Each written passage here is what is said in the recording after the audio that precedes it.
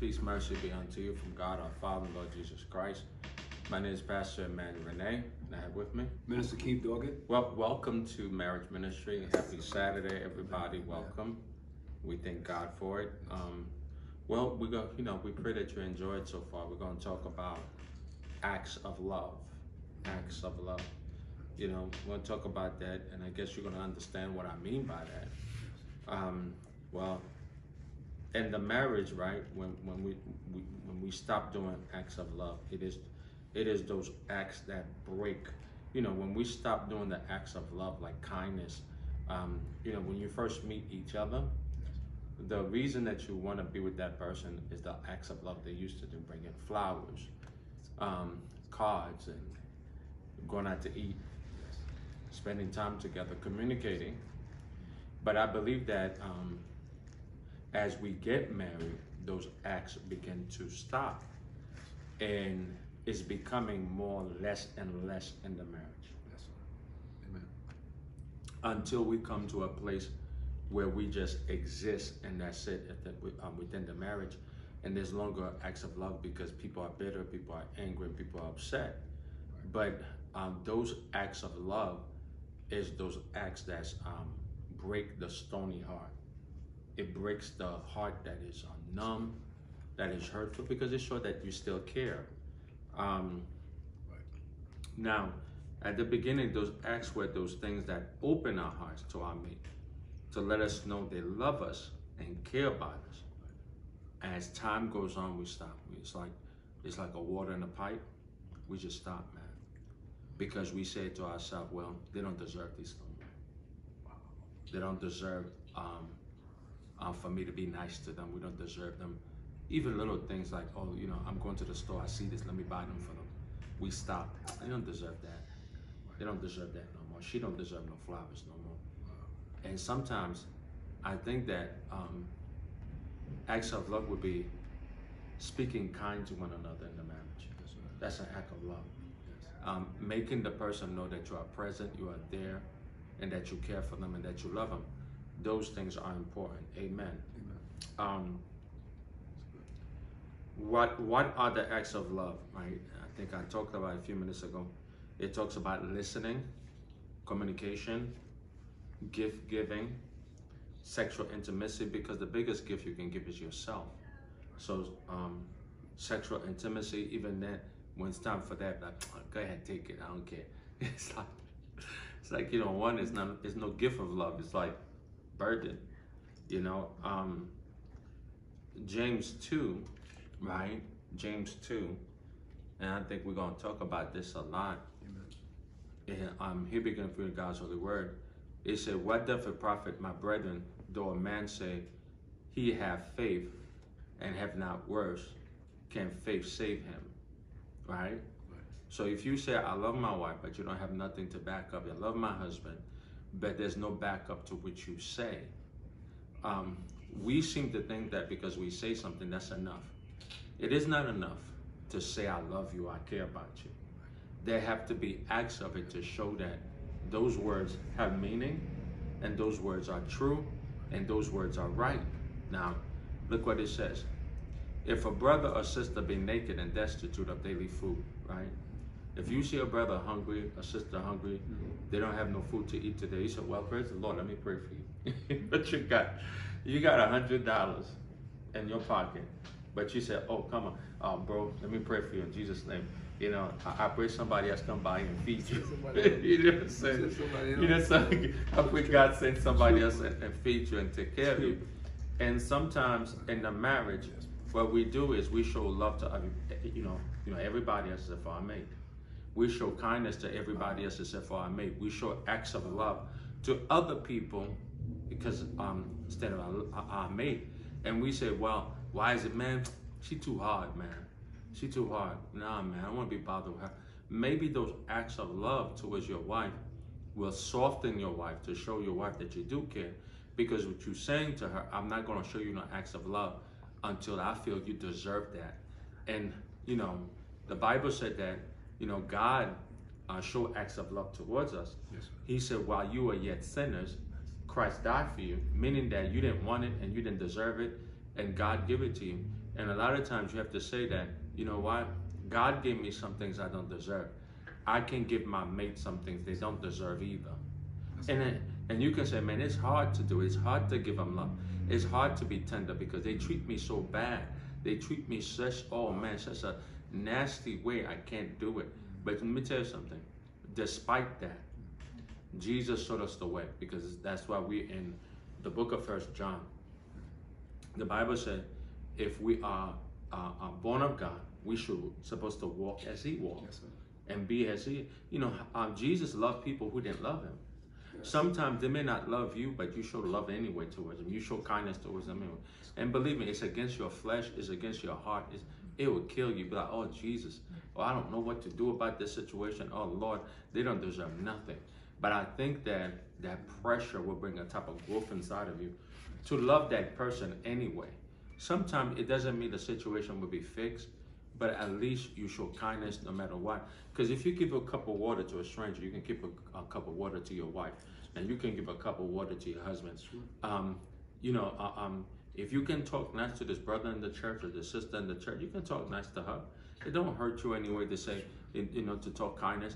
Um, because the minute she talk, "Ah, ah, ah," the minute he talk, what you talking about, Willis? And then you want to get angry with it and get upset with it because we have forgotten to show um, seed seeds of love, seeds of love, and I think that seeds of love, when you add it, will begin to grow. Sometimes you can throw all the seed, the ground is not good. Okay, I understand that. But it, but at the end of the day, you say, hey, I did my part for sowing seed of love. If it didn't grow, that's not on me. But I did my part to show the seed of love. You understand? So not every ground, because I put down, like in my my uh, yard, I put down some seed. Not every seed I sow grow. And it doesn't mean it's not in the ground. It's in the ground, but the ground not growing it. Because I look back there, right? I saw corn growing in the backyard. But the corn I planted last year, I didn't plant none this year. So it was still in the ground and it's growing now. So sometimes what you put in now, when you sowing, you don't sow for the now, you sow for the later. And sometimes we say that, um, well, you know what? I'm sowing this seed. I'm, I, I- I'm, sh- I'm showing this acts of love. We want a quick return, and a lot of times that's where we make the mistake and stop, because we want things to happen right away. And sometimes seeds don't grow right away. It may grow in the next season, and not in the season that you planted in. Yes. Wow. You want to say something? It's, it's about time. Mm-hmm. You know, when you when you're in a marriage, when I look at marriage, you know, it's about long suffering. You know, you're gonna you're gonna deal with things in marriage, but like I, I, love what you're saying about you gotta keep showing the acts of love. No matter if if your mate or the husband they're not doing what they're supposed to, you do your part. You keep doing it, and and and do it with consistency. Don't look at your mate and say, "Oh, she's not doing, it, he's not doing it." Well, you know what? They don't got no love, and they don't care about me. Maybe they might be going through a situation. Maybe they might be going through something in their heart, or or whatever they might be going through. But when you can just show love, despite whatever the situation is in the marriage, you just keep showing act- kinds of love, bringing them flowers. Mm-hmm. I love you. I just, I see, you know, I miss you today. You know, you, you look beautiful. You know, I, I'm just, I'm just so glad to see. I'm so glad I'm with you. You know, just things, Yeah. Pop. Yeah. Just little things. Well, people call it the love language. And I think that acts of love, you know, I'm gonna call it acts of love. People call it the love language. I can say that acts of love are different from each person, Okay. right? Acts of love are different. Don't put the same seed that you think you want, and that's what the person want. So you have to de- uh, um, identify the seeds and of acts of love for them. For me, I love uh, um, gift giving is great for me. It works for me. That's good, And I love to hear I love you and I love to see it. You know, I love to hear, oh, I love you, I, lo- I love it. And I love uh, um, to be made um, big fuss over at times. You know, there's seeds of love, you know, Seeds, seeds of love throughout the day. Women is important. Right. Not every minute, but just, you know, say, I love you. Right, right. Even show a heart, send a heart, kisses. Those, those are very important Yes. to me. Okay. But for my wife, it may be totally different, and for you know your mate, it may be different. For you, it's different. And I think that we all have to identify the seeds of love. Sometimes the- my seed of love can be silence. That's what I need at the moment. Right. The time. Time. See, all those are seeds, acts of love for the other person. And um, time alone, you um, uh, uh, get your wife a spa day where she go out. That's a seed of love, where she can do time on her own and just, especially if you notice she been working late, working hard, a little stressful, little thing. You give a seed of love. You understand? Yes, sir. I was watching um, the show um, Shy. You know, they're not married, but I'm just using as an example where the guy would think it was Christmas and the guy, I think was um, played by Iman Shumpert, but the girl, bunch of bags, bunch of bags, right? Uh, Gucci bags. Some chicks, that's that's their thing. Gucci bags, doing, and she was not impressed with that. And he, and she gave him something that had meaning to him, and he loved it. And she said, "This is what I'm talking about. You have to give gifts that has meaning to me. It's not the price. It is the thought, That's good. and it is the meaning That's good. that it has to That's me. good. You understand? That's good. That's good, Paul. So a lot of times we say, "Oh, I'm gonna go buy her a bag." She want a bag. She want to know something that your heart is attached to, that you paid attention to her, that you heard her. That's how you open her heart up. Those acts of love open heart huge to be able to love you in the marriage, and then it works in the friendship. It it works on the love. It works in the caring. It works on all these things. But it starts with seeds of love, acts of love, which at times you may not even get the uh, the blade in that season, Right. but you get plenty. You be like, I'm tired. You know, you did it for two weeks, Right. Right. and I'm tired. I'm tired. I'm tired. I'm tired of that. So also learn that in the season, no matter what season you in, you may be in the season of wheat. You know, I call the season of wheat the season of pride. Like I have a picture, right? In the time of harvest, you mm-hmm. know, all wheat dies and all wheat bows down when it's time for harvest. All wheat bows down. So so all wheat begin to bow down. In the midst of all the wheat bowing down, right? You see all the tares stand up. Right. So that's how you identify between the wheat and the tare. Because eventually all when harvest come, all the wheat bows. And then it's bowing and shows you what's standing. Okay. You understand? So Wow. you you may be in the season where God is showing pri- um, the wheat, the, the, the wheat, the, the tares in your marriage and everything like that.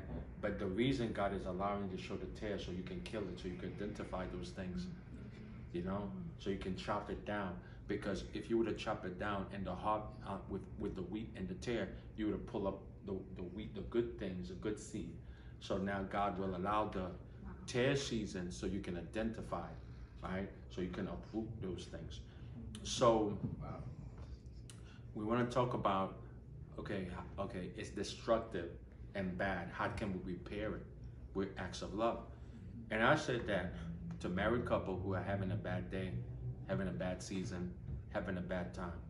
Let me give you a wisdom that god does right? He does it every day. Every day. And i think that if you try to um, you know, um, in the marriage, a continuance, you're gonna have an issue. Um, God create every day to cut off the other days, and every time that God is about to give you, you know, to marry a couple, the reason that you marriage is bad because you think about it, the um, the accumulative all those days. So there's no ending to those days. But God cut every day as every day. This is the day that the Lord has made. He should rejoice and be glad in it. Then, then that day is over. This is the day that the Lord has made. I should rejoice and be glad in it. See? So every day is a new beginning. But when you are married, there's no new beginning because you think every day is the same day. And you have to understand that every day is a day to have a new start. And we're gonna have to learn how to pull up the wheat in the, in, in the nighttime. We have to pull up the things so we can start a new day and a new beginning and the day, days that God has given us. You know, so um, that's how we start with, um, you know, um, meeting the needs of others in the marriage and doing acts of love. Well, um, I, I, I start with verse 15. Say, if a brother or sister be naked and destitute of daily food, and one of you say unto them, Depart in peace, be be you warm and filled, notwithstanding you give them not those things which are needful, needful to the body. What doth it profit? So you're out here prophesying, be good in Jesus' name. Hallelujah, glory. It- it's the same thing with your wife. Your wife told you what it needs, what she needs, and your husband tells you what he needs to make the marriage work. And you say, well, be warm and be good. You know, what does it profit that we have to show not only, you know, um, people think that, that um, you know, being to communicate is enough. And I believe when I look at this um, scripture, it's not only to talk about it, but but to dress me after I talk to you about it, to warm me after I finish talking about it, to feed me after you know I finish talking about it. You know, his must be. Oh, we talk about it. So what? We talk about it. It's no different. Uh, uh, uh, to communicate is one thing, but to communicate um, uh, to communicate and not to meet the need is the is the same way as a person seeing you no food, no clothes, and say be well and be good, because it's okay to communicate, but are you going to dress me and cover me and make sure I'm good? Because and this is what the frustration for because communication doesn't necessarily mean a person will change. Communication doesn't mean that a person will give you what you need. So in the marriage, it's about giving me what I need, um, giving each other what we need. So are you going to do, oh, we talk, blah, blah, blah, all this happened. Okay, is there going to be a change? Are you going to feed me? Are you going to warm me? Are you going to put a plate of food on me? Are you going to make sure that, you know, on all those things that I told you I need, you'll meet me? And that's the difference. Because it's like communication is great, but communication without deed is also wrong. Amen. So this is why it said in verse 17, even so faith, if it have not works, is dead being alone. Right? So faith without works is dead. Well, I'm believing God to fix my marriage. I always say that. So what do you, okay, if you believe in God, what acts of believing are you doing? What acts of believing? I have a little picture with two people walking by faith. They both plant a, a, a, a, a seed in the ground. Mm-hmm. One girl is praying over the seed. Lord Father, I thank you for the seed. And then you have another girl who have a water who's pouring over the seed. And they said, this, she's not praying, but she's pouring water. This also is prayer. The water is also an act of faith for growth to happen because you're doing something. A lot of times with Christian, you pray, but you ask God to water. But if you really believe God to fix something, you will be one watering your marriage and expecting God to give the increase. Mm-hmm. Wow, wow, wow. That's also an act of love. Yes, You know, this, you, you, this, this is, wow. So you, you dropping some science. You, you, this is so good for people out there to hear this because you really, like, waking up their marriages, showing them you God and directing them what to do. Don't just be in a marriage and think that it's not going to be no trials, no tribulations. It's not going to be nothing. Whatever it is, you got to know that you, like you saying, you got to keep watering. You got to do your part. And it's a uh, one thing I, I loved about you, Pop. You always say this, and it's so real: consistency. It got to be consistency in the marriage. You know, if, if, if I think in consistency in marriage, I think, and we always talk about bending. I think if every both couples in, a marriage, if they bend with consistency and show the acts of love, that I care. Show me that you care. And then another thing too, you being in a marriage, you gotta know what the other person want, what the other person need. You gotta pay attention to them. You really gotta pay attention to them. See what they want. This is little, and what we always say, Pop, is little things that you gotta do in a marriage. Because little things in a marriage, it makes it, it make it, it it'll grow. It's not you can't always look for the, uh, the big thing. Forget about the big things. Just coming home, just saying, "Girl, I love you. I, I, I miss you." And like you said, well, hearts, giving hearts. I'm just thinking about you. Just because little things to touch our heart. It, may, it will melt her heart if you just show that I love you, honey. You're beautiful. Yeah. I always say that a home cooked dinner is better than a than a restaurant cooked dinner. Because somebody cooked somebody else cooked it, but you cooked yours out of love. It's a whole total different thing. You know what I'm saying? So because that's also a work of faith, a work of the heart. Well, verse 17 says, so if it's so faith, if it have not work, is that being alone. And I think a lot of times our marriage not working, we have a lot of talk, but not enough to back it up. No acts, no not no action to back up anything. Everybody talk a good talk, but we ain't doing nothing. And I think that's why not making our marriage work because all we ever do is talk about stuff, but we never do anything. Everybody shake their head, yeah, I see, I see, I see. And you're like, yeah, I see nothing. you know what I'm saying? You gotta see right, something. right. You got to see something. After we talk, there has to be works. When does works, acts of love begin? Right away. Right away. Right away in the marriage. So, yeah, man said that has faith and I have works. Show me that faith without that works. And I will show thee my faith by my works. I will show you I love you by what you do. I will, I will know you love me by what you do, not only by what you say. I will know you love me by how you go out your way and do what you do for me. That's how I know. That's how I know. I love you. So what? Empty. Just talk. But what is your acts to back it up, to prove to me?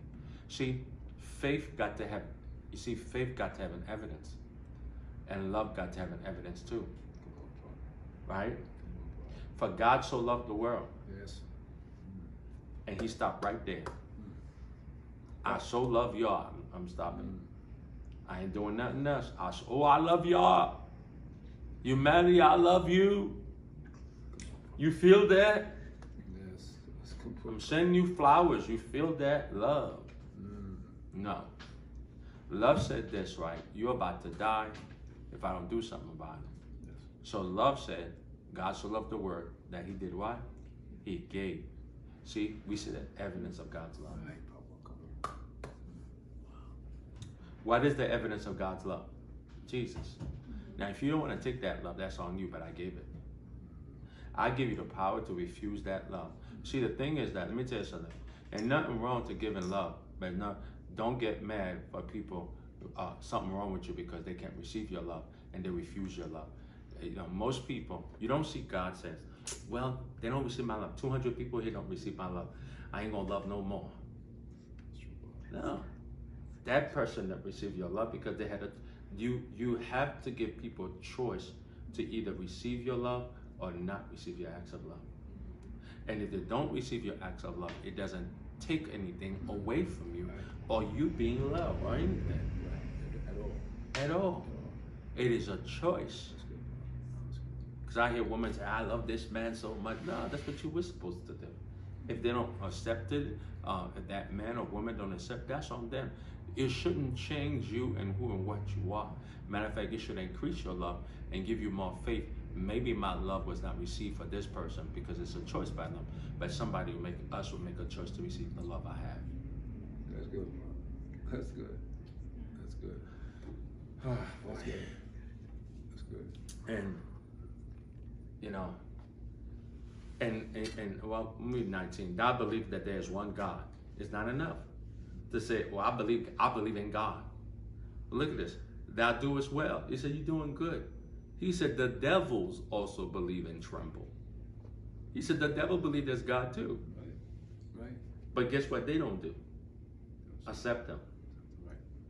what they see matter of fact i don't even think the devils have to believe there's a god they already know there's a god Right. Right. They already know there's a God, and they tremble. They, some of them have seen Him, or know where He live and know everything about Him, and they still refuse Him. So believing is not just enough in the marriage. Loving is not just enough in the marriage. It has to be acts of love in the marriage for the marriage to become what it needs to be. That's right. Amen. That's right.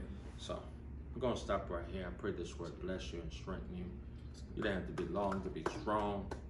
I thank God for strength and strongness. I pray some of you begin to sow acts of love, no matter how small, no matter how big, begin to sow it in your marriage. And you know something? Don't say, well, I, you know, you know, Pastor, I did it for a week, two weeks, three weeks, and I don't see nothing. Sometimes, like I said, you sow one season, but you're reaping another season. Amen. And I pray the word bless you and and um and strengthen you. I pray that we love one another as brothers and sisters in Christ. Remember, your wife is your brother, your husband. You know, your your, your wife is your sister, and your husband is your brother. Remember, the Bible says if you hit your brother, Amen. You're in trouble because that's your brother and your sister. So let's love each other in the marriage because we're still brothers and sisters first before we husband and wife. So let's love one another. Amen. So I but I hate her. No, well, you just hit your sister. You're going to hell, brother. Stop. I was ending. Let me end. But anyway, I pray that the word bless you and strengthen you. My name is Pastor Manuel, and I have with me. Minister Keith Duggan But we have one thing to say to you. Jesus is. Lord. God bless you.